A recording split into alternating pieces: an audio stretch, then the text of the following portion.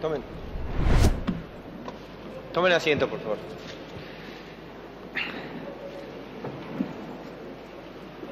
Se reabre la audiencia. ¿Me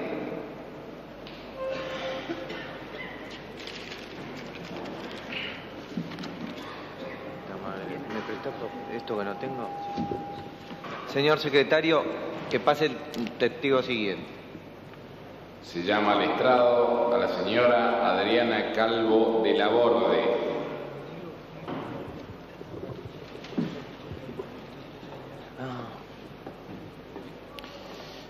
Un momentito, señora, por favor.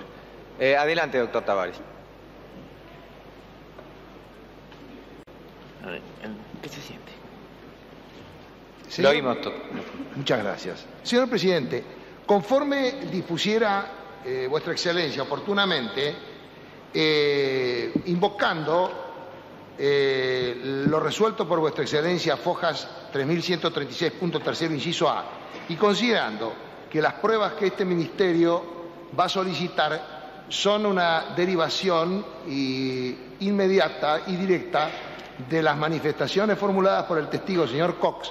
Concretamente, señor presidente, solicito se cite oportunamente a prestar declaración testimonial eh, conforme a las personas que mencionara en dicha declaración, a los señores Emilio Ardoy, doctor Emilio Ardoy, señor Manfred Schoenfield, arquitecto Máximo Gainza y al doctor Mariano Grondona y al, al doctor Mariano Grondona y al doctor Walter Klein. Eso es todo, señor presidente. Se tiene presente, lo resolverá el, tribunal en su oportunidad. Muchas gracias, señor.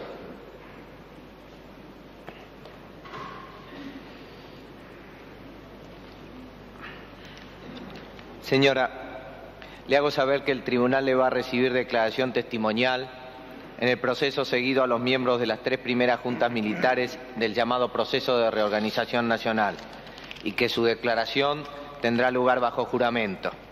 Asimismo, que afirmar una falsedad o callar la verdad en todo o en parte está castigado en el Código Penal con un mes a cuatro años de prisión y si es en causa criminal en perjuicio del imputado, con uno a diez años de reclusión o prisión. ¿Jura decir verdad en todo cuanto supiere y le fuere preguntado? Sí, juro. Tome asiento, por favor. Diga.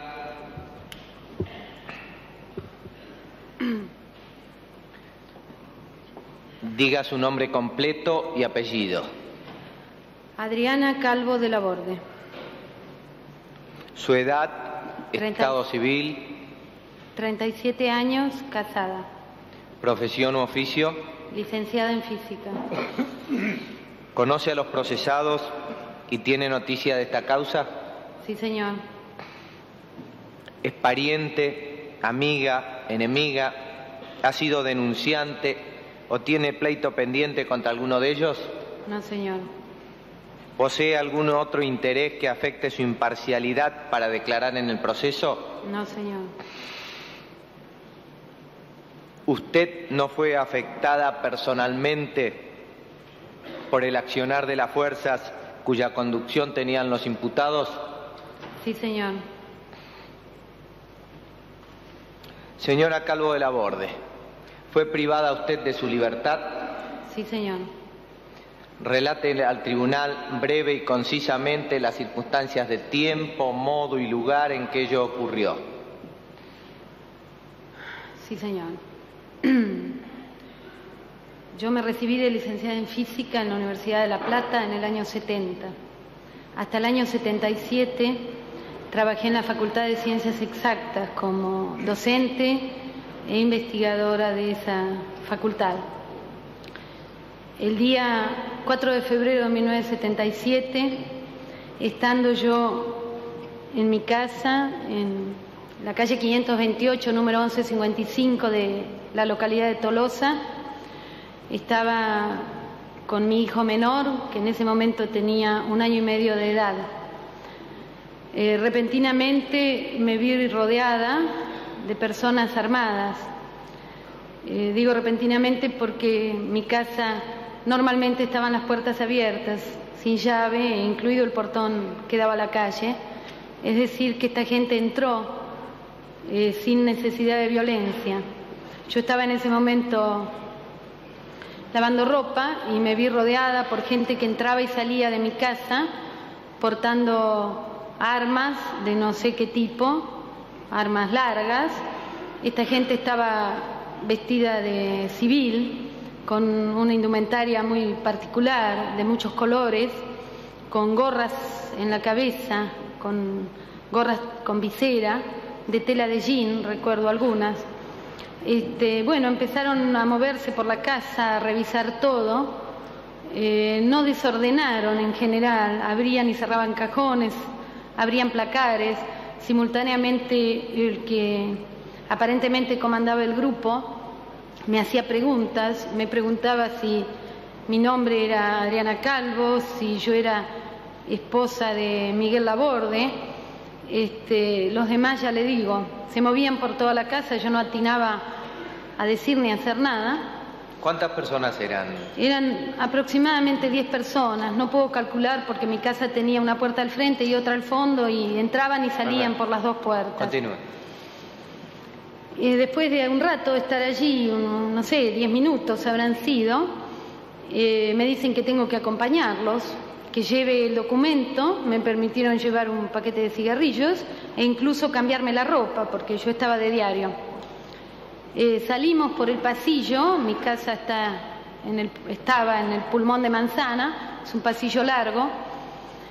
Cuando llegué afuera vi que estaban todos los vecinos observando el operativo, que había dos autos, pienso, este, estacionados allí y a mí lo único que me preocupaba era mi hijo. ¿A qué vecinos vio? Eh, yo vi especialmente a los vecinos que viven eh, saliendo de mi casa hacia la derecha, que es el matrimonio González Litardo, y también vi al dueño del kiosco que estaba frente a casa, de apellido Contini. No puedo asegurar, pero creo que había más gente en ese momento. Este, mi preocupación era mirar hacia atrás para ver qué hacían con mi hijo. Mi hijo venía con ellos, lo traía uno y lloraba, por supuesto. Y vi que se lo entregaban a un vecino, justamente al, matrimonio González Litardo. Creo que se lo entregaban, ellos estaban allí. Inmediatamente me hicieron dar vuelta, eh, me introdujeron en uno de los autos, en el asiento trasero, en el medio, y a cada costado iba una persona. Este, me dijeron que no me iba a pasar nada en ese momento, que era para averiguar antecedentes, que enseguida me iban a traer de vuelta. Ni bien el auto arrancó, dio vuelta a la esquina, inmediatamente me pusieron un, un pullover, creo que era en la cabeza, me tiraron al piso del auto y me pusieron los pies encima. Bueno, comenzaron las amenazas, que, que me iban a matar, etcétera. Hicimos un recorrido corto, calculo que no habrán sido más de 10 minutos por zona céntrica de la ciudad de La Plata. Entramos a un lugar con un portón de hierro, un portón que hacía ruido, no puedo asegurar que fuera de hierro. Y allí este, me bajaron, ya eh, me sacaron el pullover y me pusieron una venda de trapo en los ojos, muy ajustada, y me esposaron las manos atrás. Yo para ese entonces estaba embarazada de seis meses y medio, es decir, que ya era bastante avanzado. Me sentaron en una silla, en un lugar que no, al cual no puedo describir, me pidieron el documento eh, tuve la impresión de que anotaban en algún lugar, porque me hicieron parar primero frente a una especie de ventanilla, donde me volvieron a tomar los datos, me sacaron el documento y, el paquete de cigarrillos. ¿Identificó este lugar o las personas que no. a las que se está refiriendo? No. ¿Alguna fuerza armada de seguridad? No, yo en realidad no, no puedo asegurar que se trataba de algún lugar en particular. Luego, por los hechos que relataré a continuación, eh, digamos que tengo la, sospecha fundada de que ese lugar se trataba de la Brigada de Investigaciones de la Policía de la Provincia de Buenos Aires. porque por conversaciones con otros detenidos eh, me describieron el lugar, el movimiento de autos, el portón y que además aparentemente todos los procedimientos en ese momento comenzaban por ese lugar. Este, allí me sentaron en una silla. Pero usted, usted no, no, identificó ese lugar. No, yo estuve. Ni en ese momento ni con posterioridad. No, no, muy pocas horas estuve allí. Me sentaron en una silla y este, empecé a darme cuenta lentamente que no estaba sola en ese lugar, que había otra gente en mi condición, eh, por los quejidos que escuchaba, comentarios en voz baja. En un momento yo pedí por favor que le avisaran a mi marido que yo estaba allí, les dije que mi marido estaba trabajando en la universidad, que le avisaran para que fuera a recoger a mi hijo. Una persona me dijo que cómo no, que le iban a avisar, que les diera el número de teléfono. Entonces yo les di el número de teléfono del trabajo de mi marido, del Departamento de Tecnología de la Universidad de La Plata. Me dijeron que ya le habían avisado.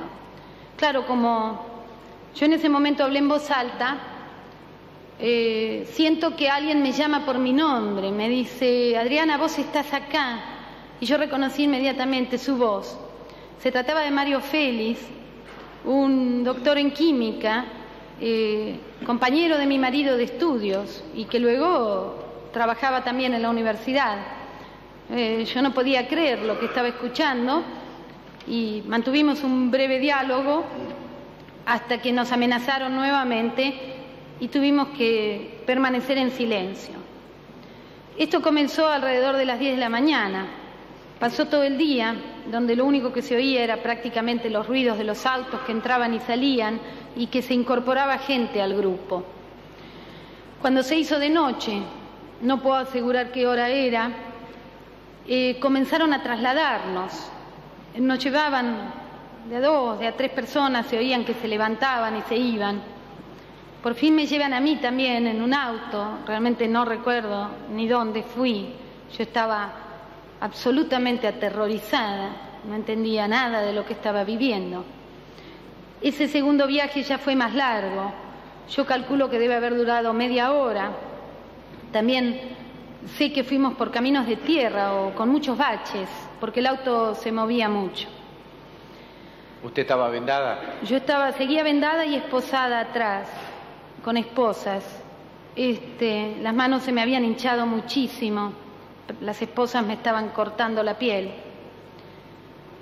Cuando llegamos al segundo lugar, nos bajaron y nos sentaron en el piso, uno al lado de otro, prácticamente estábamos codo con codo.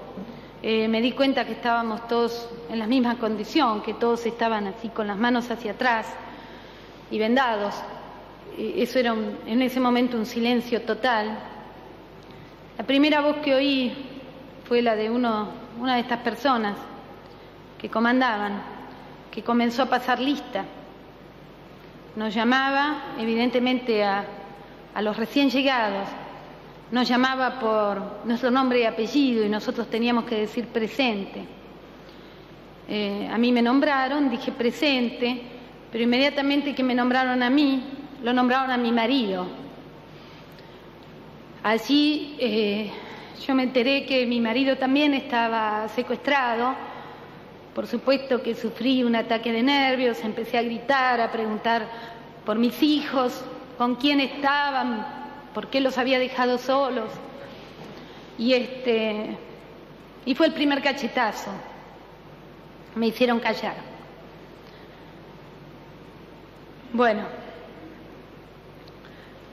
esa noche, eh, cuando ya era bastante noche, llegó lo que tuve que aprender que se llamaba la patota. Llegaron varios autos, eh, con su característica de abrir todas las puertas al mismo tiempo, entraron todos juntos y comenzaron los interrogatorios. Señor la Patota, ¿La patota a la que usted aludió era un grupo de personas? Era un grupo de personas que evidentemente comandaban este asunto. Hasta ese momento...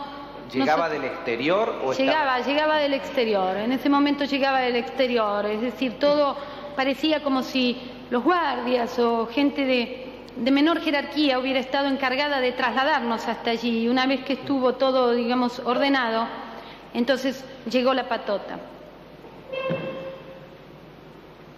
Describa más a, este grupo de personas que llegaban. Lamentablemente no, no puedo describirlo porque yo no los podía ver, pero eran gente con voz de mando, eh, con evidentemente cargo superior. Eh, en esta oportunidad y en todas las otras que llegaron, que era todos los días, eh, se notaba un clima de terror en ese lugar. Aún los mismos guardias se ponían sumamente nerviosos y tenían mucho miedo. Y este y bueno, daban órdenes, gritaban, les gritaban a los propios guardias también. Como le decía, inmediatamente que llegó la patota, comenzaron los interrogatorios. Yo quisiera tener palabras adecuadas para describir lo que fue eso. Eh, los iban llamando de a uno a los que estábamos en ese pasillo, en esa especie de hall, y se comenzaban a oír los gritos, los gritos este, desgarradores realmente, creo que nunca más voy a poder olvidar. Los métodos de tortura que se usaban eran muchos, esencialmente picana. Yo hasta ese momento no sabía lo que era una picana, pero bueno, ahora lo sé. Este, pero también golpes, golpes en la cabeza, golpes en los pies, golpes en todo el cuerpo. ¿Usted sufrió estos tormentos? Eh, no, no personalmente, no estos que estoy relatando ahora, sufrí otros. Allí aprendí a lo que se llamaba... ¿Cómo sabe eh, que, es Porque se oía, eh, señor presidente, era un lugar muy chico este, y la sala de torturas estaba exactamente al lado de donde estaba apoyada yo, en la pared. Y yo oía eh, las preguntas que les hacían a los que interrogaban. En algunos casos oía las respuestas también. Oía los golpes. No puedo asegurar que le estuvieran dando golpes, pero después yo vi a la gente. La vi sin venda cuando salía de esos lugares, ¿no?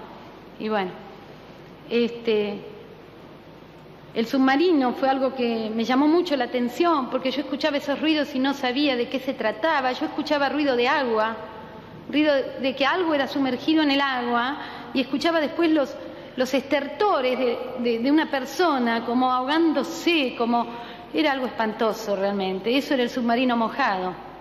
Le metían la cabeza dentro de un barril con agua, un tacho con agua. Eso me lo han contado los que sufrieron esa tortura. Yo escuchaba los ruidos. El submarino seco también, diafragma, por ahí se escuchaba el ruido de alguien que se ahogaba, pero no se escuchaba el ruido del agua. Y después me enteré que era una goma o no sé, una cosa así que le ponían en la cara.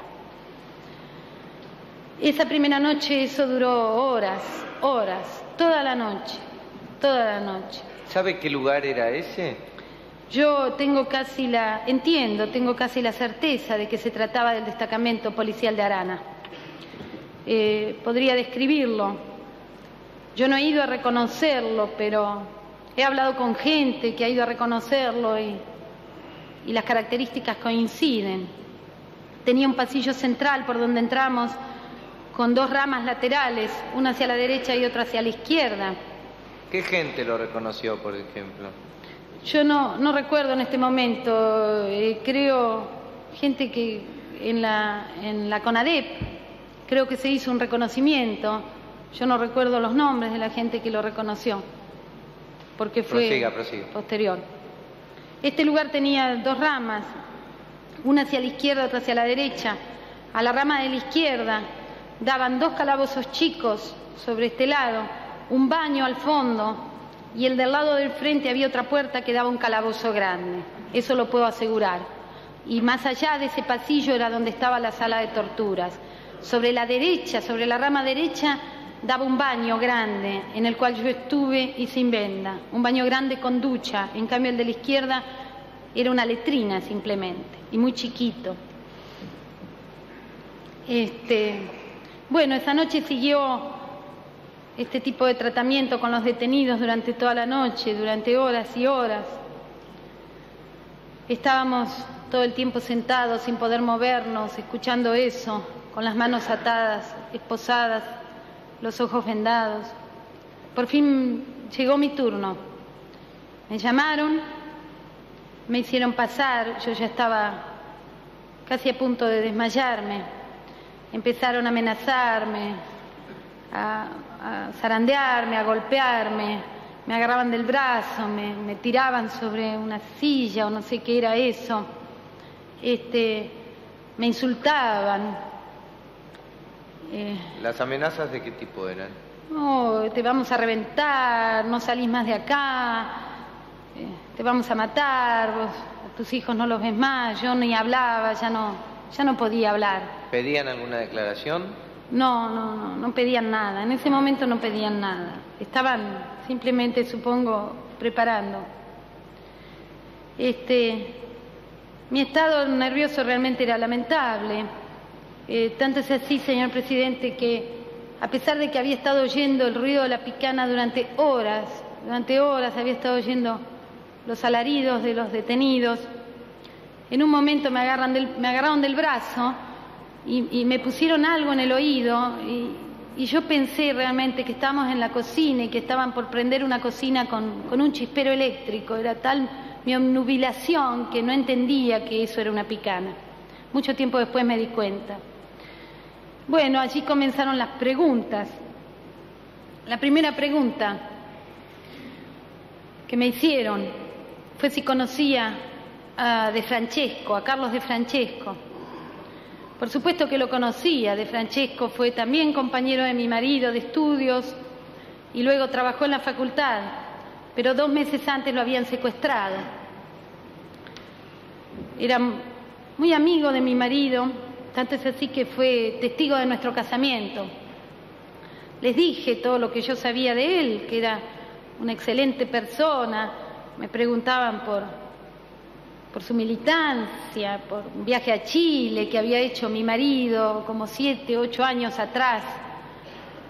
Yo no entendía nada, les decía que de Francesco no, no militaba en nada, que su ideología política era absolutamente nula. Y seguían insistiendo con eso, y seguían insistiendo, y seguían preguntando sobre el viaje a Chile, un hecho que había ocurrido mucho tiempo atrás, cuando yo no estaba ni casada siquiera. Este, bueno, esta gente estaba muy cansada, habían torturado toda la noche. Y por fin se cansaron de mí también. Eh, a mí en un momento me dio la impresión que que ni ellos mismos sabían por qué estaba yo allá. Eh, se, preguntaban entre ellos, yo no sé si eso era común, pero realmente a mí me dio esa impresión, no tenían la menor idea de por qué estaba ahí. Este, por fin uno le dijo al otro, sacala, y me llevaron nuevamente al pasillo. En ese pasillo estuve lo que quedaba de esa noche, todo el día siguiente, Nuevamente se repitieron a la noche siguiente las torturas y se repitieron durante los siete días que estuve en ese lugar. En un momento me, me levantaron y me llevaron a un calabozo, al calabozo más chico que, que mencioné recién, el que daba sobre el pasillo de la izquierda. Ese calabozo, si es que se le puede llamar así, era un lugar de aproximadamente dos metros por uno la mitad del calabozo estaba ocupado por un camastro de cemento. En ese lugar me encontré con cuatro mujeres más que estaban en las mismas condiciones que yo. La puerta era de hierro y tenía una mirilla. ¿Las mismas condiciones se refiere a qué? A vendadas y atadas, este, y vendados los ojos y atadas las manos. Este, la guardia era muy estricta, pasaban cada diez minutos abriendo la mirilla, amenazando, gritando. No podíamos prácticamente hablar. ¿Usted todo esto cómo lo apreciaba? En ese momento tenía los ojos vendados. Sí, pero se oía el ruido de la, mm. el ruido de la mirilla cuando la abrían, cuando uno tiene los ojos vendados y en esas condiciones, el menor de los ruidos es, es importantísimo. Este, poco a poco, cuando nos fuimos acostumbrando, yo me fui acostumbrando al lugar, creo que las primeras 12 horas no, no pronuncié palabra en ese calabozo, no me atrevía ni abrir la boca. Me fui acostumbrando a ese lugar y fuimos, fui, fui este, estudiando la, secuencia de que venía el guardia, que era más o menos una secuencia regular, y me atreví a empezar a preguntar, ¿qué era eso? ¿Por qué? Era muy poco, de todas maneras, lo que hablábamos. Allí me enteré en realidad no recuerdo si fue allí o después, porque yo a esta gente que voy a nombrar ahora la vi después también, relativas mejores condiciones, y me pudieron decir sus nombres. Allí estuvieron en esa fecha, que era el 4 de febrero, el 5 o el 6 de febrero, María Delia Garinde de Ángeles, una médica pediatra, operada del corazón, embarazada de tres meses. Sé que estaba operada el corazón porque me mostró la herida y me comentó después que la había operado el doctor Favaloro y que cuando a ella la llevaron a torturar, después de darle unos cuantos golpes y cuando la desnudaron y le vieron la herida, no se animaron a, a darle picana porque tenían miedo que se muriera. Estaba también en ese calabozo Ana Movili de Boneto. También me enteré que estaba su marido, Roberto Boneto esta chica tenía, me enteré después, en el otro lugar de detención en que estuve, un aneurisma cerebral. Y aún no la habían torturado tampoco. Pero en un momento lo llevaron al marido a torturar. Le aclaro que sé que era el marido porque le preguntaban el nombre y nosotros escuchábamos. Roberto Boneto. Lo torturaron durante horas, durante horas y aparentemente no consiguieron lo que buscaban porque la vinieron a buscar a ella para torturarla delante de él. Se la llevaron y volvió, volvió muy mal. Nosotros pensamos que se moría. Estaba también en este calabozo Nelly Dadimovich de Leguizamón, una obrera de Siak. Y estaba una, una chica a quien no volví a ver más, que se llamaba Rosa. No, por eso no sé el apellido ni sé absolutamente nada de ella. Con el correr de los días fue llegando más gente. Todos los días llegaban nuevos detenidos y se reiteraban las torturas. Siempre era igual. Durante el día había una calma relativa, salvo las amenazas de los guardias, y de noche llegaba la patota. Y ahí cundía el terror realmente. ¿Cuánto era el, número de, cautivos, de prisioneros que había en ese lugar aproximadamente? Yo eh, no le puedo dar un número exacto, pero sé que el día del traslado se llevaron, no sé, como a 30 personas. Yo creo que pasaron, en esa semana que yo estuve, pasaron más de 30 personas por ese lugar. En los días siguientes, creo que fue el 8 de febrero, oí que traían a una persona que la voz me resultó muy conocida. Se trataba de Jorge Bonafini. Había sido alumno mío en la facultad. Durante cuatro años fue alumno mío, un alumno brillante, de diez absoluto de promedio. Lo torturaron durante tres días seguidos. También llegó Patricia Uchansky de Simon. Oímos cuando la traían, oímos su nombre cuando la torturaban, oímos sus torturas y luego la trajeron al calabozo nuestro. La vimos llegar destrozada, con la boca hinchada, con los senos lastimados, la vagina sangrante. Patricia Uchansky desde ese momento se transformó en casi mi hermana.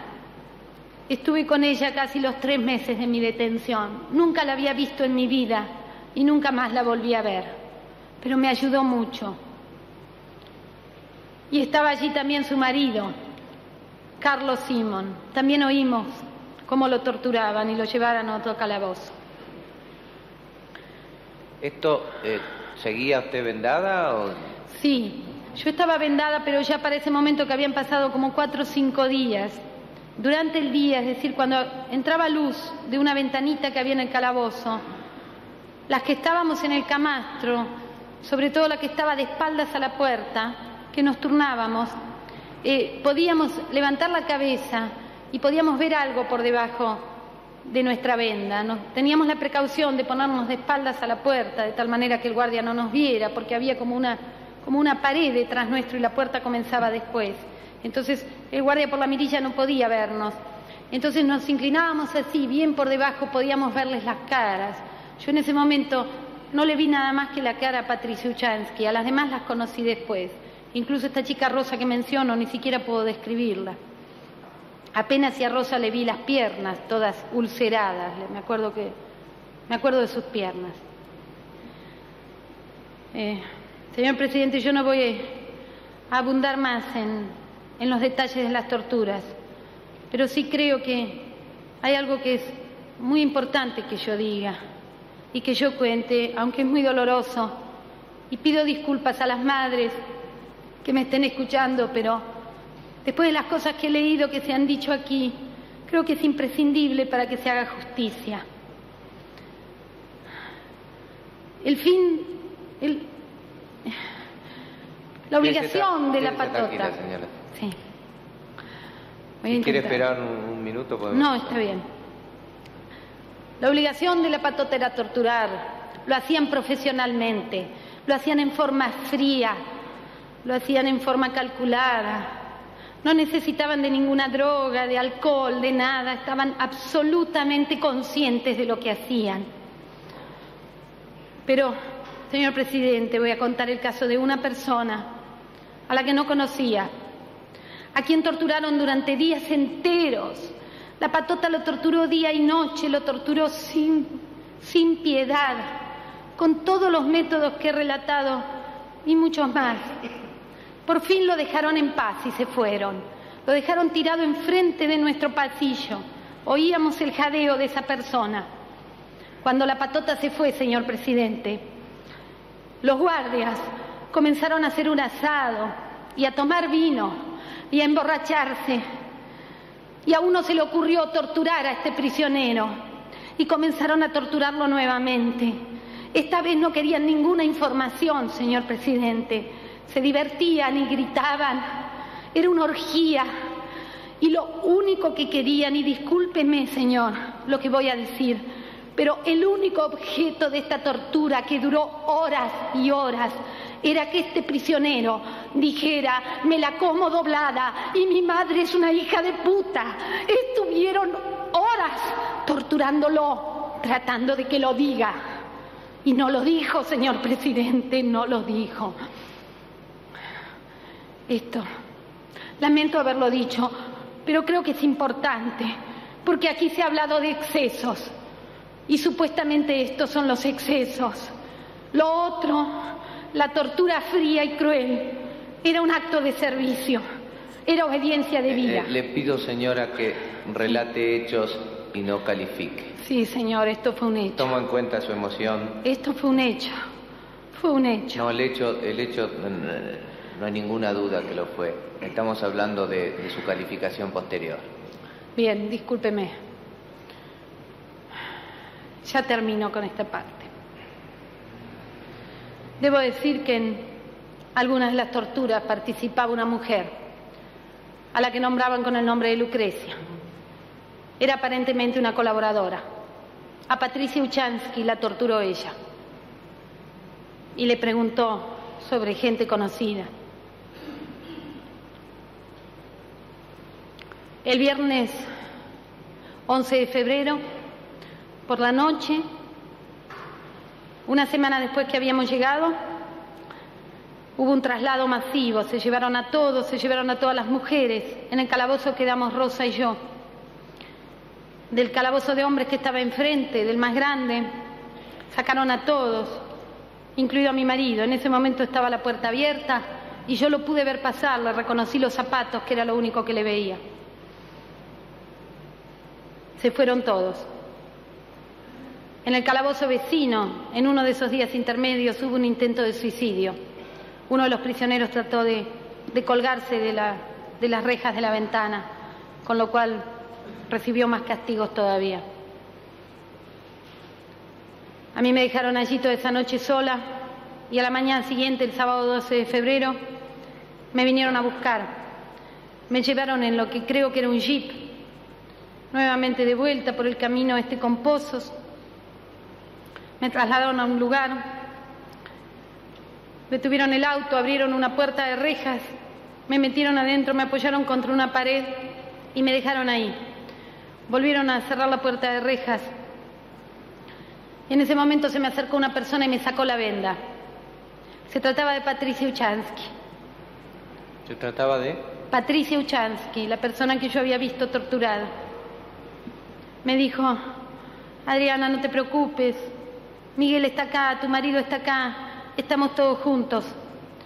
Allí me empezó a contar dónde estábamos, de qué se trataba, yo estaba desesperada y empecé a ver las caras de las demás prisioneras.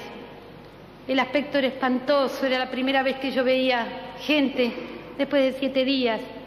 Estaban sucias, lastimadas, casi sin ropa.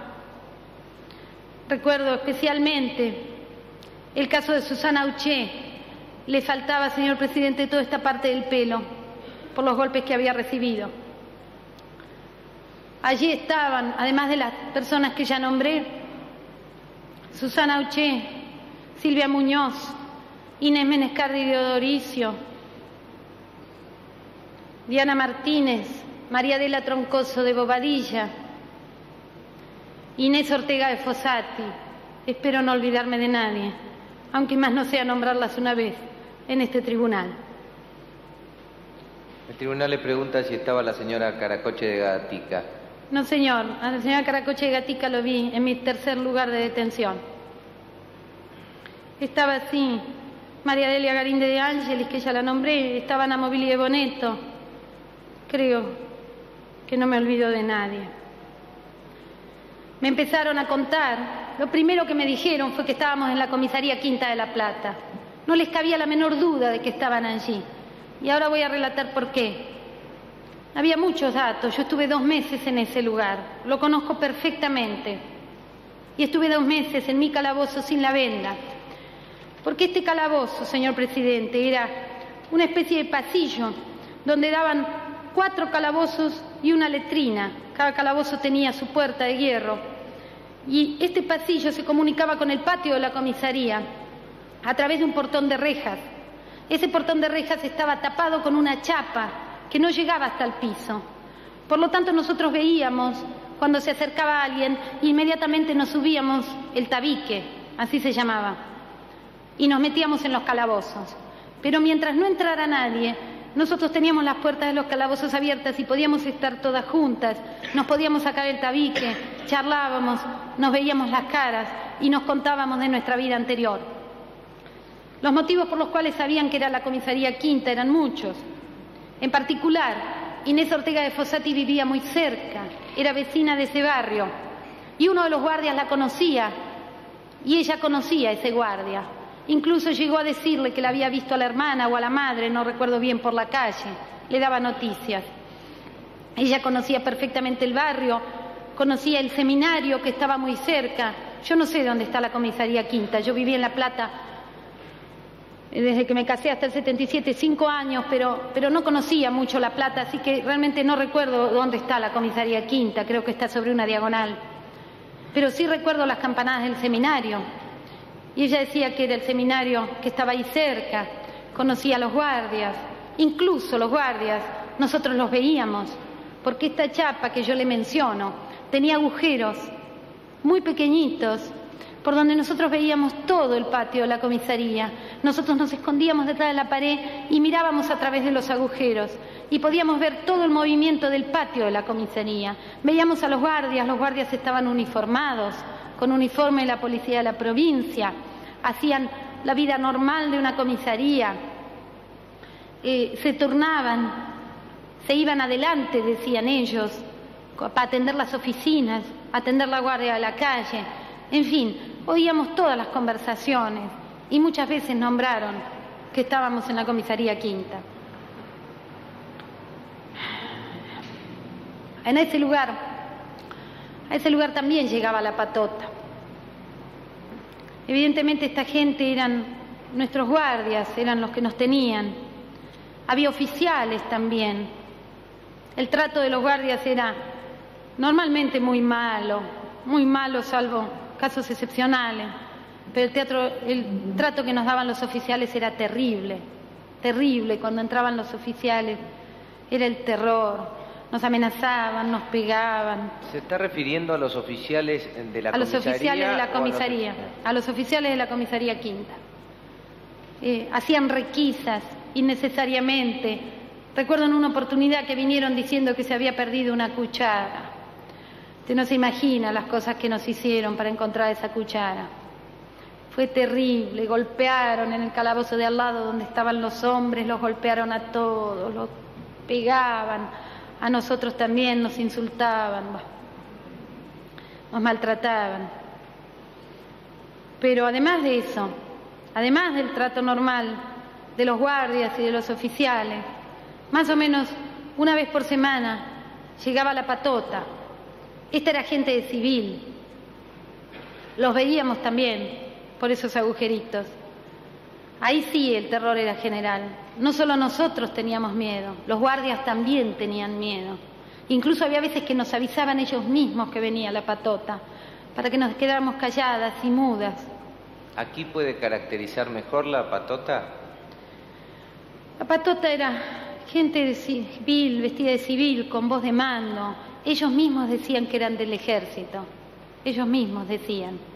Otro dato importante es que yo oí ahí en la comisaría quinta en algún momento de los dos meses que esta patota pertenecía al COT.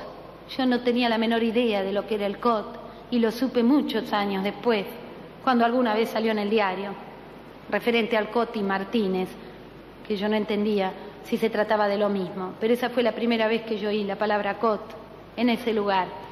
Y por las conversaciones de los guardias, cuando venía la patota venía el COT. No sé a qué se referían. Este, la patota venía más o menos una vez a la semana y tomaban lista, señor presidente. Entraban al calabozo con unos papeles y nos tomaban lista, uno por uno, por nuestro nombre y apellido, teníamos que decir presente. En el calabozo de mujeres era curioso que había dos casos, en los primeros días nada más que dos, que no estaban en las listas. A ellas no les pasaban listas.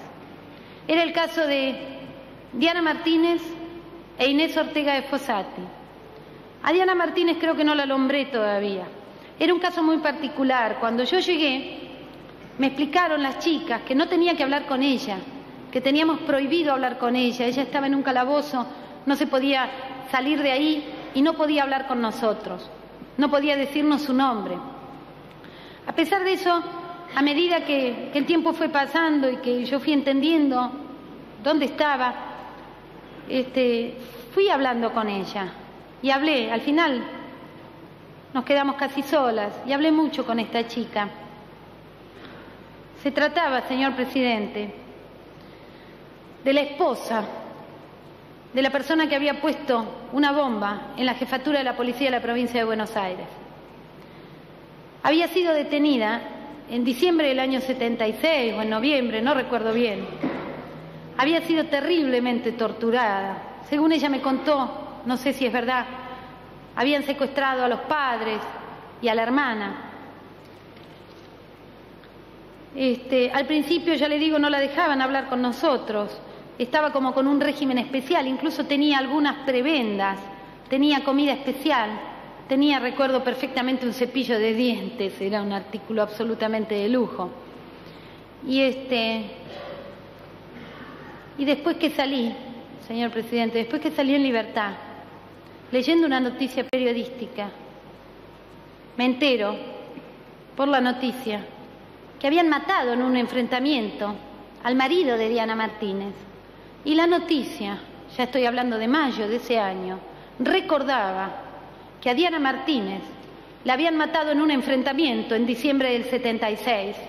Y yo estuve con Diana Martínez desde el 12 de febrero del 77 hasta mediados o fines de marzo de ese año. Yo estuve un mes y medio con ella cuando ya había salido en los diarios que estaba muerta y que la habían matado en un enfrentamiento. Recuerdo que ella me contó que la secuestraron cerca de Constitución, en un bar, en un procedimiento público. ¿Qué voy a decir del régimen de higiene, de comida? Comíamos una vez al día y cuando venía la comida. Había muchos días que no comíamos, en todo el día. Pasaron dos, tres días pasaban y no comíamos absolutamente nada. Nada. Por suerte teníamos una pileta dentro de ese pasillo y podíamos tomar agua. Y por suerte también una letrina y no teníamos que pedir permiso para ir al baño. La comida la traían, según ellos, del seminario. Era siempre, siempre los dos meses, un caldo con algunas papas y algunos huesos adentro. Nos desesperábamos por comer. Nos desesperábamos al punto tal de comer los huesos. Realmente teníamos mucho hambre, pero mucho peor que nosotros estaban los hombres, de todas maneras, en ese mismo lugar. Nosotros teníamos algunas consideraciones, por ejemplo que a veces nos dejaban la olla, le servían a los hombres primero y nos dejaban la olla, entonces nosotros podíamos, como además la teníamos que lavar, podíamos comer hasta el final. No teníamos ni colchón, ni abrigo, ni cama, ni nada. Dormíamos en el piso, con frío, con calor, de a dos, de a tres, de a cuatro, de a cinco, según las que fuéramos. Muchas noches tuvimos que, que dormir sentadas porque no entrábamos en el calabozo, acostadas, y de noche nos cerraban las puertas con candado. La higiene era nada. En dos meses nos llevaron al baño dos veces. Ahora voy a relatar cómo. En esos dos meses nos llevaron dos veces al baño. Íbamos vendadas, eh, agarrándonos de la que iba adelante, en fila, nos llevaban y de paso haciéndonos chocar contra las paredes, pegándonos, empujándonos, etcétera. Y nos metían al baño de a cuatro, de a cinco. Este baño tenía una puerta que daba al patio con, con mirillas y una puerta que daba al calabozo de los hombres también con una mirilla. Mientras una se bañaba, otra miraba hacia el patio y la otra hablaba con su marido. Ahí lo pude ver, por primera vez a mi marido. Ahí pude ver lo que era ese calabozo, señor presidente. Le puedo asegurar que los campos de concentración nazi no tienen nada que envidiarles. Era un cuarto muy grande, con gente tirada casi desnuda, con un olor nauseabundo, olor a sangre, a orina, a transpiración. La gente ni se movía, ni siquiera el hecho de que estuviéramos nosotros allí lo llevaba a poder levantarse. Mi marido se acercó, me dijo que estaba bien, que estaban allí de Francesco, que estaba feliz. Me contó que tenía mucho hambre, que tenía mucho frío. También allí pudo ver a su marido Patricia Uchansky. Lo vio a Carlos. Yo lo conocí también. Lo conocí a Carlos Simón, primera y última vez que lo vi. Ana Movili de Boneto vio a su marido, a Roberto Boneto. María Adela Troncoso vio a su marido, a Bobadilla, no recuerdo el nombre. Inés Menescardi vio a su marido, Roberto Doricio. Y no recuerdo más nombres. Eso se repitió en dos oportunidades. En la segunda vez que fuimos al baño ya estaban mucho peor. Era realmente terrible. Señora, en este cautiverio, ¿usted recibió tormentos? No, los que ya habíamos pasado por los tormentos, en todo el tiempo que yo estuve allí, creo que no volvieron a, a torturar a nadie. Eh, sé que, que algún hombre, alguno de los hombres se lo volvieron a llevar, no tengo muy claro si lo torturaron o no, porque no teníamos contacto con ellos, salvo estos dos veces que nos llevaron a bañarnos. Pero de este grupo de, de personas que yo nombré hasta ahora, eh, ya habían pasado todas por Arana, así le decían, viniste de Arana, como si fuera tan conocido, ¿no? Eh, usted dice, ya habíamos pasado por, eh, por tormentos. ¿Usted sufrió tormentos eh, en otro lado? No, en Arana los que acabo de contarles, de empujones, de amenazas, de, de apretujones, de tirarme Yo consideré, señor presidente, que estaba embarazada de siete meses. Continúe. Este, me refería a que todas veníamos del mismo lugar, incluso el primer lugar que nombré era muy conocido para todas y todos decían la brigada. Era aparentemente el lugar de distribución de prisioneros, así lo decían allí. Este, sin embargo, en la comisaría quinta también se torturaba. Aparentemente este otro grupo de gente que no, que no era el COT, este, que tenía otros prisioneros, entre los que estaban Inés Ortega de Fossati y Diana Martínez, eh, trajo otros prisioneros allí. Pienso, si no recuerdo mal, que la primera que llegó fue Susana Falabella. En realidad yo su nombre lo conocí después, porque escuchamos que llegaba gente, que llegaban autos. Eso fue terrible, porque escuchamos, señor presidente, que bajaban a gente y escuchamos a dos chiquitos que lloraban, a dos bebés de muy corta edad. No entendíamos nada, no entendía por qué había chicos ahí. Me acuerdo perfectamente sus llantos durante mucho tiempo. No entendíamos por qué habían llevado a chicos a ese lugar. Después se fueron, es decir, se fueron. ¿A No oímos más los llantos. ¿A qué les llama mucho tiempo? Horas, no puedo precisar cuánto. Creo que era de día cuando fueron, creo que era de día. Y creo que se los llevaron cuando ya era de noche, pero sería la tarde. Este, cuando, cuando, los, cuando no oímos más los chicos, empezamos a oír nuevamente los gritos de tortura. Nuevamente el lugar de tortura estaba muy cerca nuestro. Y escuchábamos, escuchábamos todo lo, lo que se preguntaba. Y este, bueno, era una mujer a la que torturaban. Era una mujer a la que torturaron también durante mucho tiempo. ¿Procuraban obtener información? Sí, yo recuerdo que ella decía, yo soy enfermera o, o algo por el estilo. Yo soy enfermera, yo no sé nada, yo trabajo en el hospital, preguntaba por el chiquito, ¿dónde está mi chico? ¿Dónde está mi hijo? ¿Qué hicieron con él? Eso es lo único que recuerdo de ese interrogatorio. Este, después que terminó esa sesión de torturas que duró toda la noche, la trajeron al, al calabozo con nosotros y ahí nos enteramos que se trataba de Susana Falabella de Abdala. Estaba muy lastimada, recuerdo que tenía una herida muy grande en un pie y que se le infectó y estuvo mucho tiempo con mucha fiebre. Y recuerdo también que uno de los guardias le traía hojas de tilo para que se cure. Este, esta persona tampoco estaba en las listas que estábamos nosotros. Cuando venían a pasar lista, ella tampoco integraba esas listas.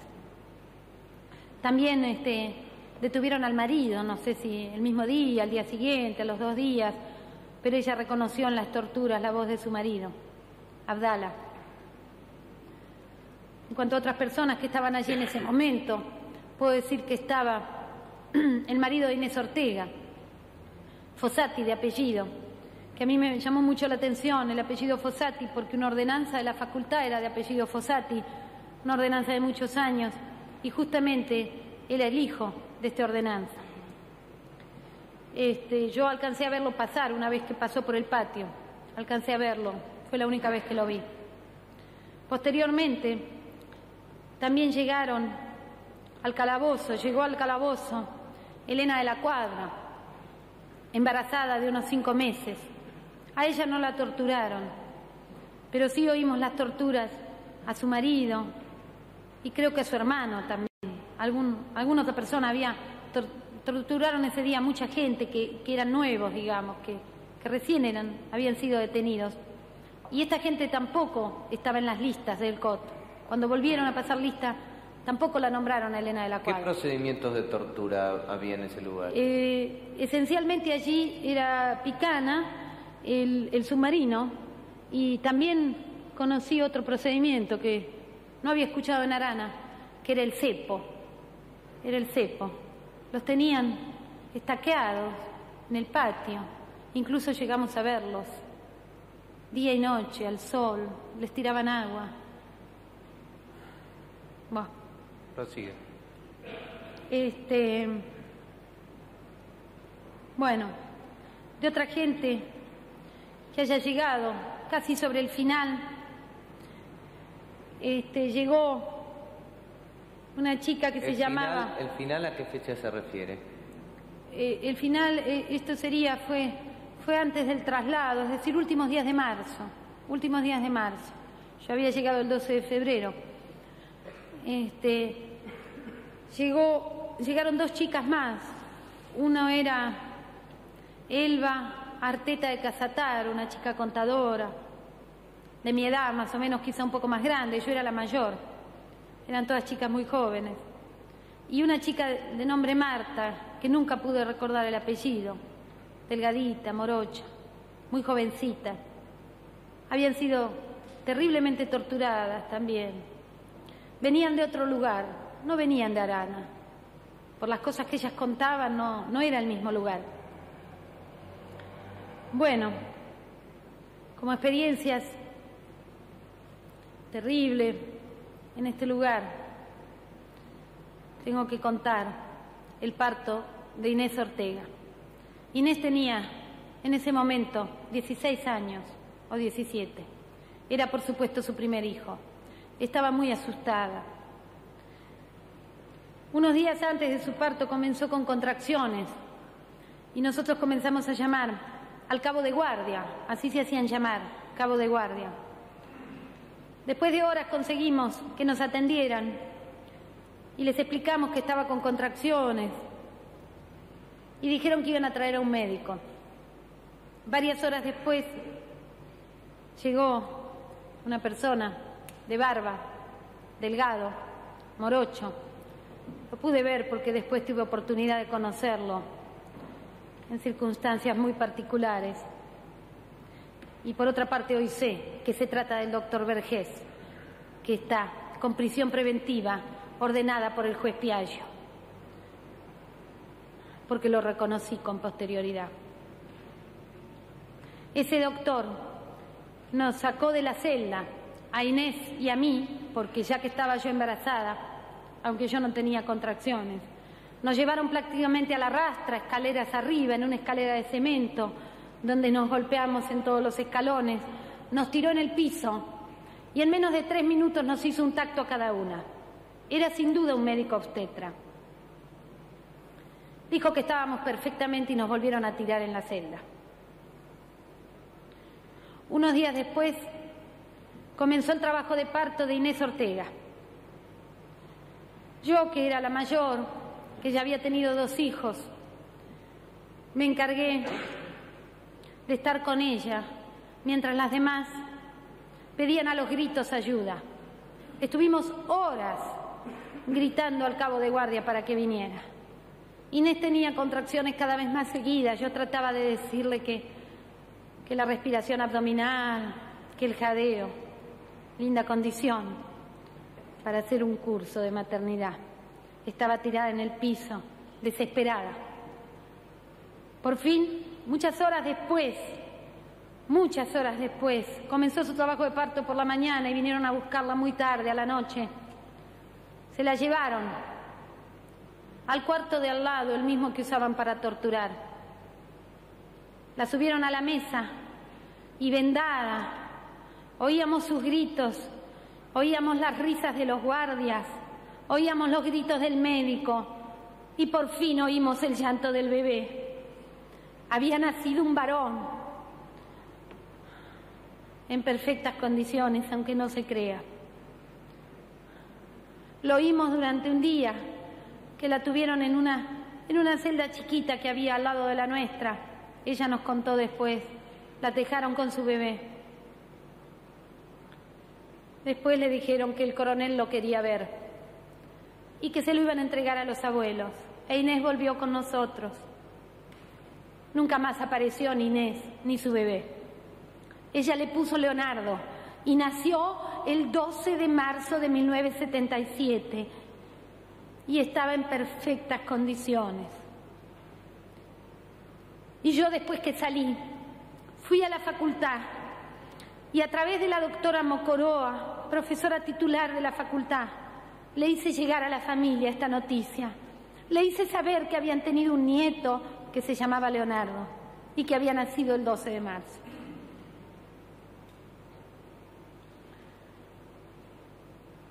Bien, por fin, el 28 de marzo, llegó la patota, entró a nuestro calabozo, pasó lista nuevamente y comenzó a decirnos a las que nos íbamos en libertad. Primero le dijo a Cristina Villarreal, a quien creo que todavía no nombré. Era también una obrera de SIAP, amiga de Nelly Leguizamón, que estaba allí desde el principio, desde que yo llegué. Que tenía mucho miedo, estaba muy atemorizada. Le dijo que se iba en libertad. A la segunda fue a mí. Me dijo, usted se va. Yo le dije, señor, yo ya estoy por tener familia. ¿Y usted se cree que me interesa tener otro bebé acá? Me dijo, no dijo bebé. No sé qué palabra usó. Usted se va. La siguiente fue Patricia Uchansky. Ella le preguntó y él le dijo, no, vos tenés para un rato más todavía. Todavía no apareció. A las demás no les dijo nada, simplemente les pasó lista. Al día siguiente o al otro día, el 30 de marzo, vinieron y se la llevaron a Cristina Villarreal en un auto junto con unos hombres, con uno de los hombres que sacaron de calabozo, creo. Alcanzamos a ver que subían a dos personas, creo, en el auto. Posteriormente me enteré que efectivamente está en libertad. El primero de abril Hubo una gran requisa, un gran terror, nuevamente la patota, nuevamente los preparativos. Se aproximaba un traslado. Este, nos revisaron a todas nuevamente. Entraron dos celulares al patio de la comisaría quinta, no sé, dos celulares, digo yo, esos camiones totalmente cerrados con, con ventanillas chiquitas de respiración, supongo que deben ser y comenzaron a llevarse a todas. Solamente quedamos en el calabozo. Inés Ortega, Elena de la Cuadra, Susana Falabella, Arteta de Casataro y Marta. Se llevaron a todas las demás. No sabíamos dónde. En algún momento intermedio se habían llevado por unos días a Inés Menescardi de Odoricio cuando volvió, volvió acompañada de Anaí Fernández y de una chica que llamaban Chela, que creo que el apellido es Perdigué, el apellido de Casada, creo que de Isabel, de Perdigué. Ellas volvían de la brigada, así decían, y nos contaban que por allí pasaba mucha gente, nos contaban que había otros lugares de detención, nos contaban que había un lugar mucho peor, que estaba en Banfield, que tenía piso rojo. También se la llevaron en el traslado del primero de abril. Se llevaron a muchos hombres, a casi todos. Debo decir también que los hombres estaban separados en un calabozo. Aparentemente estaban los de este grupo COT y en el otro que estaba pegado al nuestro estaba el grupo donde estaba Bonafini, de la cuadra, este, Fossati, Abdala. Aparentemente esos eran del otro grupo. ¿Sobre qué base discrimina el grupo COT de ese segundo grupo? Eh, sobre la base de las listas, fundamentalmente, que a los otros no les pasaban listas, que a esta gente la habían torturado allí, en la quinta. En general, salvo el caso de Bonafini, creo, no provenían de Arana. Pero la designación Grupo COT, ¿de dónde provenía? No, Grupo COT es porque yo habíamos oído a los guardias en los momentos previos a que llegaba la patota Habíamos oído esa, esa denominación, puede haber sido al revés. Pero ustedes, ¿por qué lo bautizaban grupo JS y, y Porque cuando llegaba el grupo que nos tomaba lista a nosotros, era que hablaban del COT. Mm. Y no cuando traían a los otros prisioneros, ¿me entienden? Bueno, se produjo ese traslado, se llevaron a todos y yo quedé ahí en la comisaría. Esos días fueron días de relativa tranquilidad. No hubo más ingresos de gente, no hubo más torturas. Hasta el 15 de abril, en que comenzó mi trabajo de parto. Si me permite, me voy a sacar el saco porque tengo mucho calor.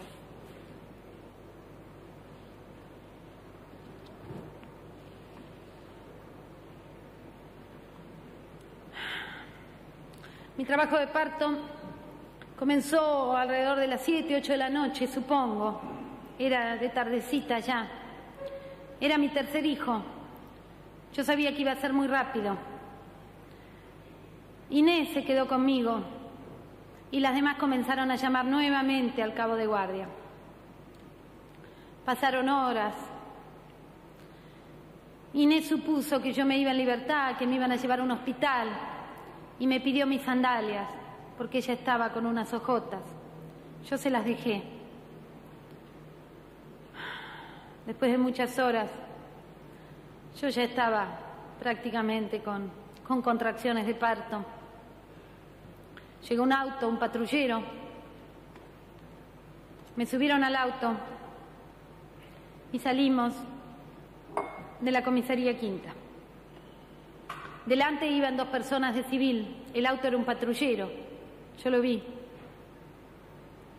Este, y detrás iba una mujer que yo entiendo que se trataba de Lucrecia, por la descripción que me habían hecho de ella las chicas. Era una mujer de, de flequillo, de pelo muy negro, de pelo muy lacio, de ojos muy grandes. Iba detrás en el asiento. Ella iba sentada contra una ventanilla. Yo ya Iba acostada en el auto, ya no aguantaba más. ¿A los otros que la trasladaban puede individualizarlos? No, señor. Les di la nuca nada más. Ni siquiera fuerza o... No, supongo que eran policías, pero lo supongo yo, puede haber sido cualquier cosa. Este... Yo iba acostada en el auto, vendada, los ojos vendados y con las manos atadas atrás. Eh, me dediqué absolutamente todo el tiempo que duró el viaje a decirles que yo me iba en libertad, que a mí me habían dicho que me largaban, que me llevaran a un hospital. Ellos me dijeron que me llevaban a un hospital. Me decían que sí, me decían que sí a todo, me insultaban. Les decía que estaba por nacer mi criatura, que no podía aguantar más, que pararan, que era inminente, no era mi primer hijo, yo sabía que estaba por nacer. Lucrecia no hacía nada, los de, que manejaba y el acompañante se reían. Me decía que era lo mismo, que igual me iban a matar, iban a matar al chico, que qué me importaba. Por fin, yo no sé ni cómo, alcancé a sacarme la ropa interior para que naciera, realmente ni lo recuerdo. Les grité, íbamos a toda velocidad por la ruta que une La Plata con Buenos Aires Iba el auto a toda velocidad y yo les grité, ya nace, ya nace, yo no aguanto más. Y efectivamente, nació, nació mi beba. Lucrecia gritó, ya nació, paren. Pararon en la banquina. Estábamos exactamente frente al laboratorio Abbott, creo que es, en el cruce de Alpargatas.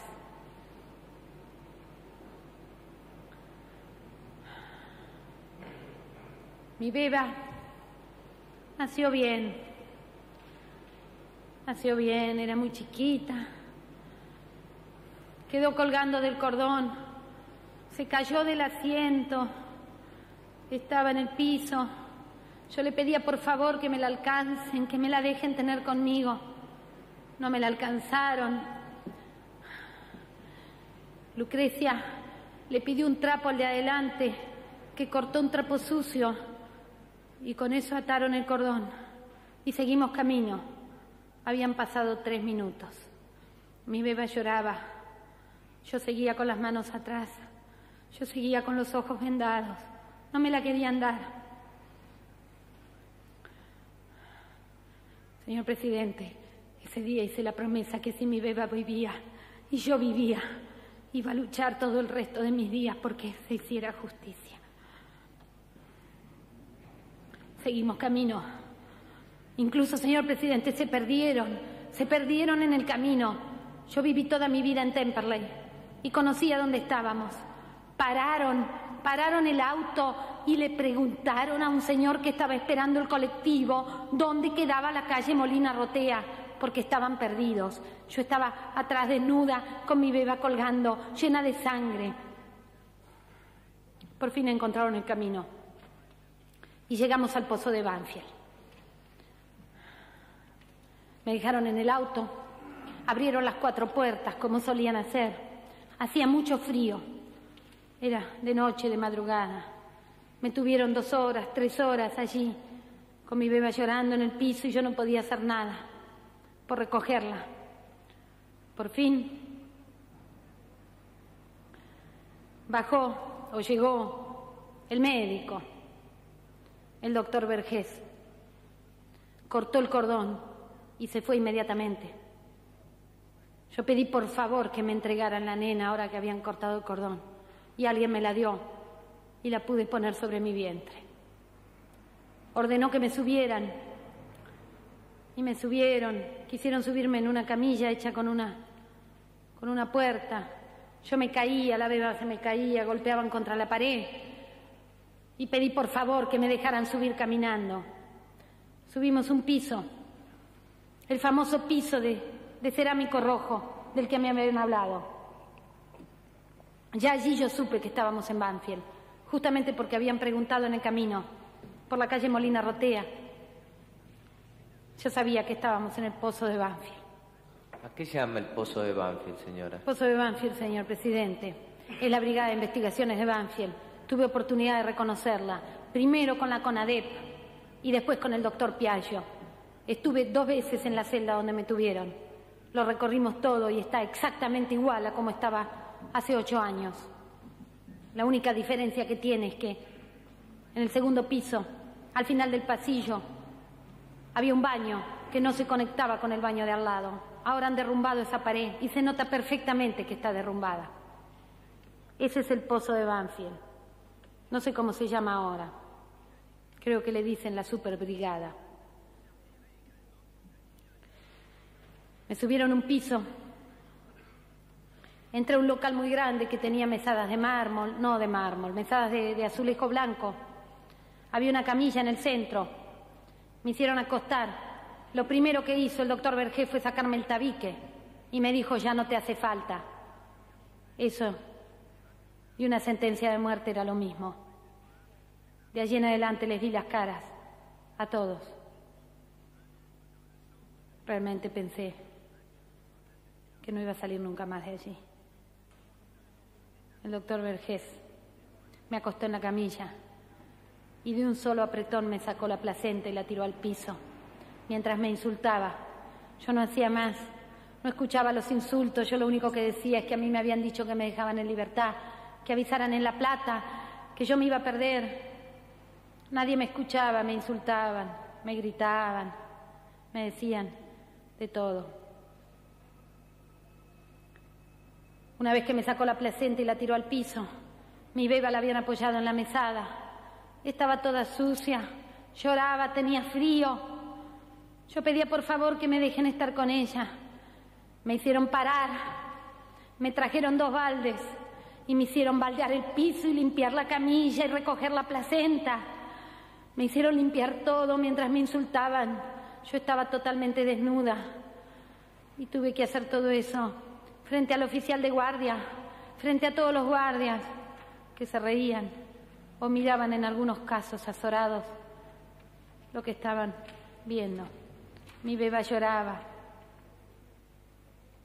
Cuando terminé de limpiar todo, me dieron mi vestido para que lo lavara. Pude recuperar mi vestido, que en esos casos es algo imprescindible. Lo lavé y así mojado pude recuperar mi ropa interior también.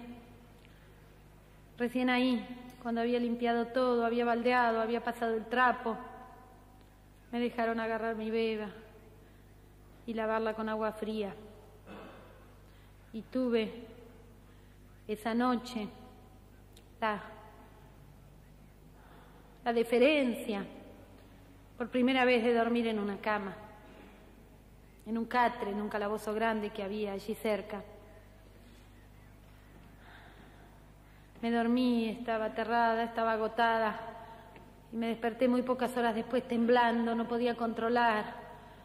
Y mi beba se había ahogado, casi se me muere, se había ahogado con las flemas y yo estaba durmiendo, no pude volver a dormir.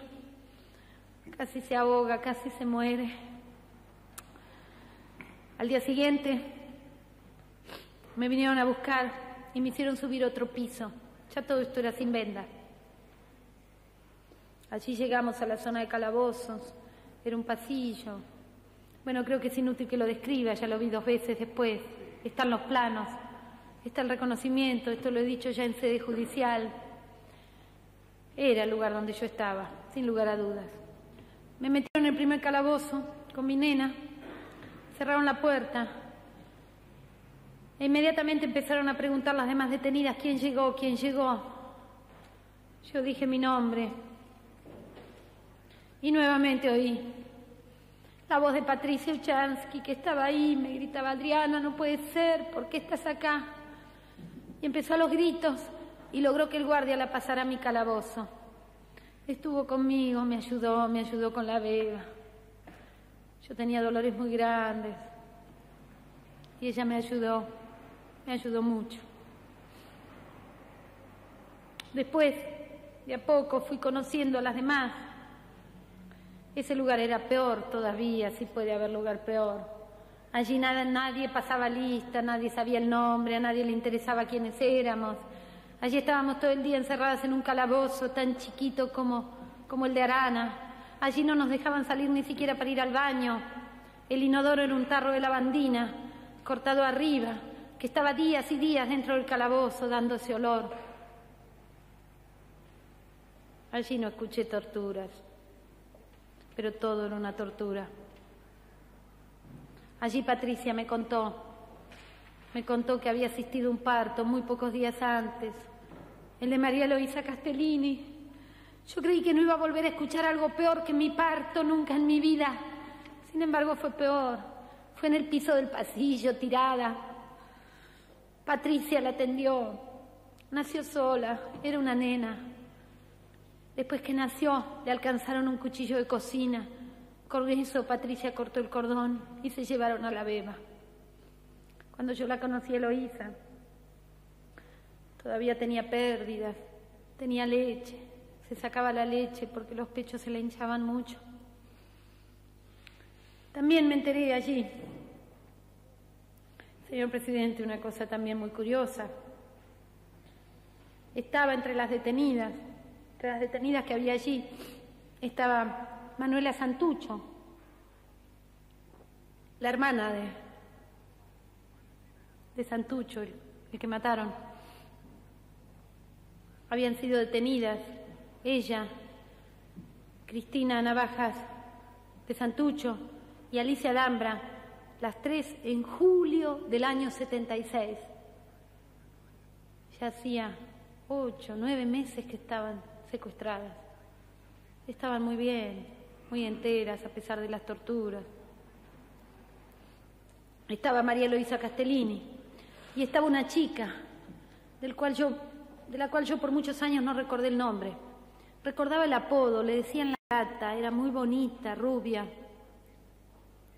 Y ella me contó su parto y yo realmente pensé, pensé que se había vuelto loca.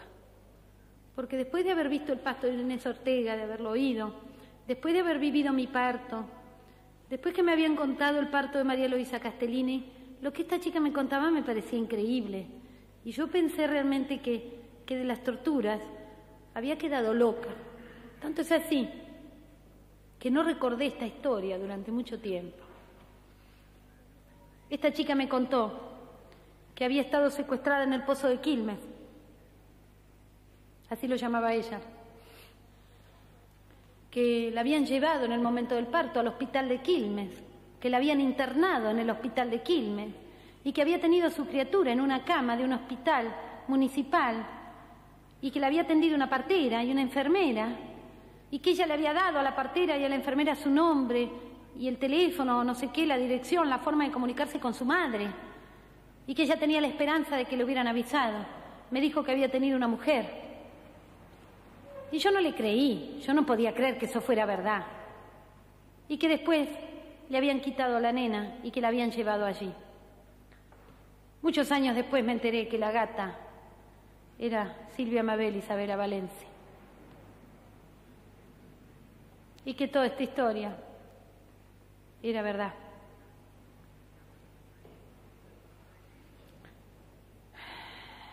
También llegaron en esos días, creo que fue un viernes, al viernes siguiente que yo llegué, dos chicas, Ana María Caracoche y Cristina Marroco. Cristina Marroco muy golpeada, con muchos moretones, había hecho un aborto, estaba embarazada de dos meses y por las torturas, creo, había hecho un aborto.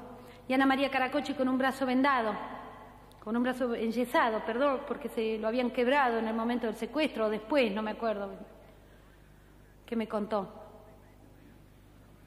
Este, con Ana María estuvimos juntas en el calabozo y, y charlando encontramos que teníamos que unas primas de mi marido eran conocidas de ellas y de ahí salió toda la relación familiar, estuvimos charlando mucho y contándole yo de dónde provenían y contándole eh, que había oído en la quinta el llanto de dos chiquitos,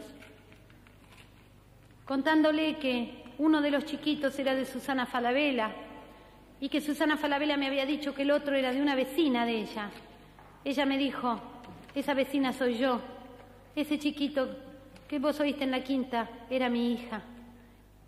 A mí me llevaron mi hija con mi vecina. Uno de los chiquitos que estaba en la quinta era el hijo de Susana Falabella. La otra era María Eugenia Gatica.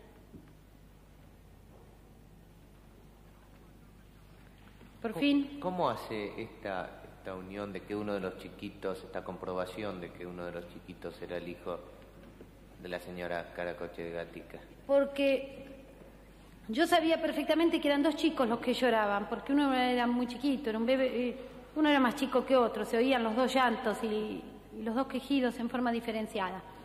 Cuando Susana Falabella entra al calabozo, cuando logra reponerse de sus torturas, nos empieza a contar, le preguntamos por los chiquitos quiénes eran porque habían sido traídos con ella. Es decir, una vez que se fueron los chiquitos comenzaron a torturarla a ella. Entonces ella nos contó el procedimiento en su casa, nos contó que, estaba con ella su hijo, que realmente no recuerdo el nombre, y, este, y que estaba con ella también una nena de una vecina de ella, que no me dijo en ese momento el nombre de la vecina ni el nombre de la nena, me dijo que era la nena de una vecina y que los habían llevado con ella allí a la comisaría quinta y que luego se los habían llevado diciendo que se los iban a entregar a los abuelos. Incluso ella me acuerdo que me contó que les había dado la dirección de los padres, que creo, si no me equivoco, que era en Mercedes, y creo recordar que el padre de Falabella era juez, creo. No, no estoy segura, nunca hablé con la familia Falabella después de eso. Bueno, cuando yo llego a Banfield y, me encuentro con Ana María Caracoche de Gatica y le cuento este episodio, ella me cuenta su secuestro y que cuando, no recuerdo bien los detalles, pero que ella había salido de su casa circunstancialmente con su bebé y que cuando vuelve se enteran que habían hecho un procedimiento en la casa de al lado y que se habían llevado también su hija. Entonces de ahí las dos deducimos que se trataba, por la fecha, además, que se trataba de, de la misma chiquita. Yo no la vi a la chiquita, ¿no? No podría jurar que se trataba de la misma, pero digamos que absolutamente todo coincide. Las fechas, el secuestro de Susana Falabella, etc. No sé si está claro, señor presidente. Por fin, el, el 25 de abril, recuerdo que era un lunes,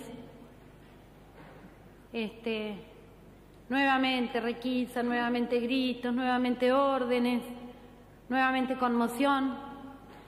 Se preparaba un nuevo traslado. Efectivamente, los hicieron preparar a todos. Digo a todos, señor presidente, porque en el ala de atrás quedaban, paré por, por medio, los calabozos del otro pasillo, estaba lleno de hombres. Allí estuvieron también Roberto Boneto, estuvo Carlos Simón. Patricia incluso me contó que unos días antes que yo llegara, la habían hecho ver con el marido, que lo habían hecho bañar y afeitar a él y que los habían juntado en un calabozo que ella estaba segura que estaba en libertad porque lo habían hecho bañar, lo habían hecho afeitar. Eh, Anaí Fernández también se fue, antes que yo llegara con, con Carlos Simón, se fueron el mismo día. Y Ana Mobile Boneto también se vio con su marido. Los dejaron en un calabozo 15 minutos juntos y luego se lo llevaron a Boneto. Estaba lleno de hombres en la parte de atrás y nos comunicábamos por intermedio de la pared con golpes. Y cuando los hombres que estaban atrás se enteraron que había llegado yo por las chicas y que había una beba, me mandaron, a pesar de su condición, a pesar del hambre, porque la comida no había mejorado, mucho peor, había empeorado, comíamos menos que en la quinta. Me hicieron llegar a través de las chicas la poesía más dulce que he escuchado en mi vida. Era, llegó Teresa, la que nació presa. Teresa es mi hija. El 25 de abril se los llevaron a todos. Nuevamente traslado, nuevamente preparativos. Patricia me dijo, Adriana, vos te vas, vos te vas en libertad. Déjame tu vestido. Yo estoy casi desnuda. Le dejé mi vestido. A mí me dieron un camisón que tenía Patricia en ese momento, no sé por qué estaba en camisón, y una casaca azul bordada. Se lo llevaron. Nunca más se supo de ninguno de ellos. Dos días después, el 27 de abril, por la tarde, sube un oficial a los calabozos, casualmente era el mismo que estaba de guardia cuando yo llegué, me llama por mi nombre y apellido. Cuando yo salgo del calabozo con mi beba, este hombre empezó a ponerse muy nervioso, transpiraba, se aflojó la corbata, dudaba, me decía, ¿es usted? Sí, señor, soy yo. Bueno, espéreme un minutito. Bajó, subió, me llevó a otro calabozo, me empezó a decir, ¿qué haría yo si me dejaran en libertad? Que no tenía que decir nada, que no tenía que contar nada, que todo lo que había oído ahí eran mentiras, que eran discos que ponían para asustar a los prisioneros, que si no quería volver a ese lugar, me callara la boca, que me fuera del país.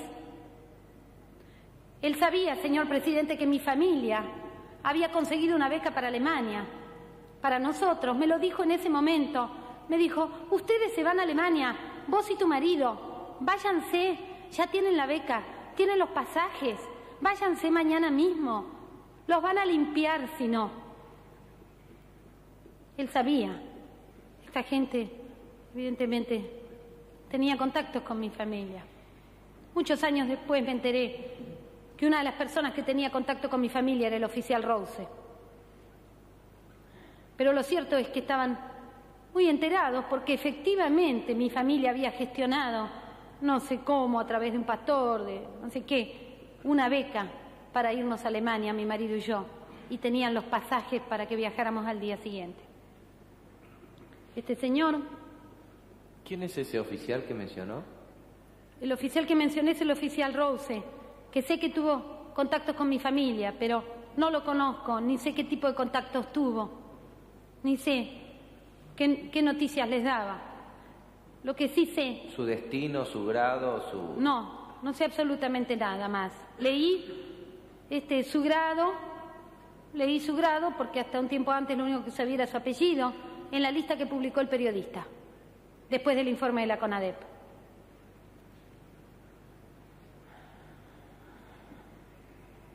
Este señor, después de amenazarme, me preguntó dónde vivía. Yo sabía dónde estaba, yo sabía que estaba en el pozo de Banfield. Había en el pasillo unas ventanas que cuando nos sacaban al pasillo a darnos de comer, cuando nos daban de comer, podíamos subirnos y mirar y veíamos la calle. Yo veía el colectivo que pasaba por ahí y yo lo conocía. Yo viví 25 años en Temperley. Entonces yo sabía dónde estaba y que estaba mucho más cerca de la casa de mis padres que de La Plata. Y yo lo notaba que este señor estaba muy nervioso. Este señor transpiraba, bajaba, subía. Evidentemente había recibido órdenes de liberarme. Yo me di cuenta de que me liberaban. Y entonces le dije que mis padres vivían en Temperley. Le dije la calle, me preguntó la calle, me preguntó el número, me preguntó todas las manzanas, me preguntó todas las calles de Temperley, me preguntó el número de teléfono, me preguntó el nombre de mis padres, de mi madre, de mi abuela. Bajó, certificó todas esas informaciones que yo le estaba dando, no me cabe la menor duda. Me volvió a preguntar de la estación Temperley, de cuántas cuadras, de cuántas cuadras a Lomas, de cuántas cuadras a Banfield, de cuántas cuadras a Drogué. Le contesté todo. Y por fin me vendaron nuevamente muy fuerte, me ataron las manos, me dieron mi beba, que me la habían sacado por unos minutos a pesar de mis gritos. Mi beba, mi beba estaba llena de piojos, igual que yo. Mi beba estaba desnuda, estuvo todo el tiempo con un pañal. Eso fue lo que conseguí que un guardia que se apiadó de mí me trajera, un pañal y en el momento en que me liberaban me trajeron un enterito color celeste. Con un pañal estuve 15 días y tenía el privilegio de que me dejaban ir al baño una vez al día para lavar el pañal. Y me trajeron un cajón de escritorio para poner a mi beba. Se llenó de pulgas, yo pasaba el día sacándole las pulgas, nunca había visto piojos creo que eran, piojos blancos, nunca los había visto, después me dijeron que se llaman piojos de costura. Yo estaba llena de piojos y mi bebita también. Me dieron mi beba, la pude vestir. Este señor pedía desesperadamente que alguien me diera ropa. Yo estaba hecha una bruja, con un camisón, con ojotas. Me ataron los ojos, me vendaron las manos y uno de ellos llevaba a mi nena. Cuando bajábamos la escalera, escuché que uno de los guardias decía, apaga la luz o querés que nos vea todo el barrio. Hoy sé que esa escalera tiene vidrios que dan a la calle y que se ve de afuera la gente que baja y sube. Me metieron en un auto, me soltaron las manos, me dieron mi beba. Era un auto oscuro, creo que era un Renault, un Renault 12 negro o azul oscuro. Este, iban dos personas adelante, una persona conmigo atrás. Me amenazaron nuevamente que no hablara, que no gritara, que no los mirara, que no me moviera. Iba vendada. Hicimos un largo camino, yo ya lo conocía. Por fin estacionaron, unas cuadras antes me sacaron la venda, me dijeron que si abría los ojos me mataban. Estacionaron, abrieron la puerta y me dijeron, bajate, no mires para atrás o te matamos.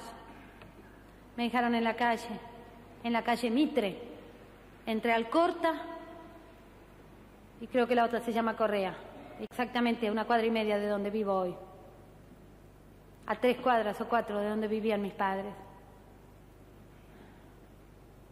Con mi beba sin documentos, sucia, en camisón, con ojotas, caminé esas tres cuadras y toqué el timbre en la casa de mi madre. Señor presidente, ahí terminó mi infierno. El de miles continúa. Yo debo decir, debo decir, señor presidente, porque sé que usted me lo va a preguntar, yo no militaba en ningún partido político.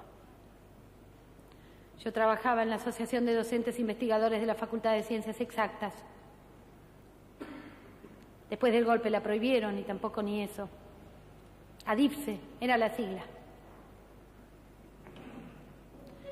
Yo, señor presidente, no militaba en ningún partido político, pero mis ideas eran públicas. Yo era docente e investigadora de la facultad. Mis compañeros me conocían y me querían. Todos sabían cuál era mi posición política, no era ningún secreto. Yo fui profundamente antigolpista. Dentro de mis posibilidades, con mis compañeros de trabajo, que algunos decían que esto no se aguanta más. Yo decía un golpe va a ser peor para nuestra patria, va a sembrar hambre y destrucción. Defendí el gobierno constitucional. Posteriormente, durante la época de la dictadura, lo poco que viví dentro de la facultad, efectivamente me opuse a ella, dentro de mi lugar de trabajo. Está bien, señora. ¿Alguna otra circunstancia de interés sobre los aspectos de su detención o alguna otra cosa que haya quedado sin, sin decir? Sí, pienso que es importante decir que al Lo día más siguiente- sintéticamente posible, por favor. Sí, que al día siguiente de mi libertad fuimos a la facultad con mi marido. Hablamos con el decano, le contamos nuestra experiencia, pedimos que se nos reincorporara a nuestro lugar de trabajo. Se nos había suspendido, una suspensión precautelar nos habían aplicado por abandono de cargo. Allí se inició, señor presidente, un trámite que duró seis meses. Pedíamos que se nos reincorporara, pedíamos que se nos pagaran los sueldos. Ese expediente está en la Universidad de La Plata. Nunca nos reincorporaron. Yo renuncié el primero de agosto, harta de tener que ir a las juntas médicas que me exigía la universidad que fuera, juntas médicas de psiquiatría, para demostrar que no estaba en condiciones de hacerme cargo de los alumnos. Harta de eso renuncié el primero de agosto y a mi marido lo echaron por abandono de cargo. Y aún no nos reincorporaron, señor presidente, un año y medio después de haber pedido la reincorporación. Ese día que fuimos a La Plata aproveché para hablar con todos mis compañeros, con todos mis amigos, con las autoridades. Aproveché para avisarle a la mayor cantidad posible de familias de La Plata. Así le avisamos a la familia de Fossati, a la familia de Ortega, a la familia de Leguizamón, a la familia de Bonafini, no recuerdo a quién más, a la familia de la cuadra por teléfono. Algunos, avisos llegaron, otros no. Viajamos a Mar del Plata porque mi familia nos mandó a Mar del Plata. No queríamos irnos del país. Rechazamos la beca. No queríamos irnos. Pero nos tuvimos que ir de La Plata. Nos aterrorizaron, tuvimos miedo. Perdimos nuestro trabajo, perdimos nuestra casa, perdimos nuestros amigos. Nos quedamos sin trabajo, nos tuvimos que ir. A mí lograron aterrorizarme, señor presidente. Por suerte no lograron aterrorizar, aterrorizar a todo el pueblo. Hubo madres, hubo abuelas, hubo familiares, señor, que los enfrentaron y hoy estoy aquí pidiendo justicia. Gracias Señor- a ellos. Creo que no tengo nada más que decir, señor presidente. Señor fiscal, ¿alguna pregunta? Ninguna pregunta, señor presidente. ¿Las defensas quieren formular alguna pregunta? Muchas gracias, señora. Su testimonio ha terminado.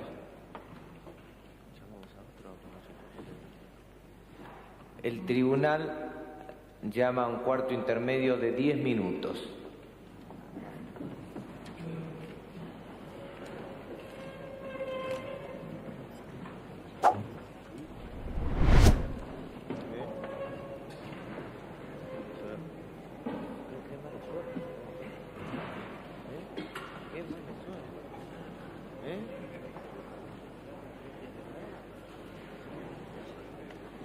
Bueno, pero te forman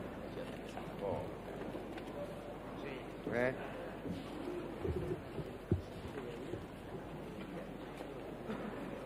Esa parte se me fue, pero, viste, pasa es que su testimonio fue valorado en su conjunto, es una bomba y ya, viste. ¿Eh?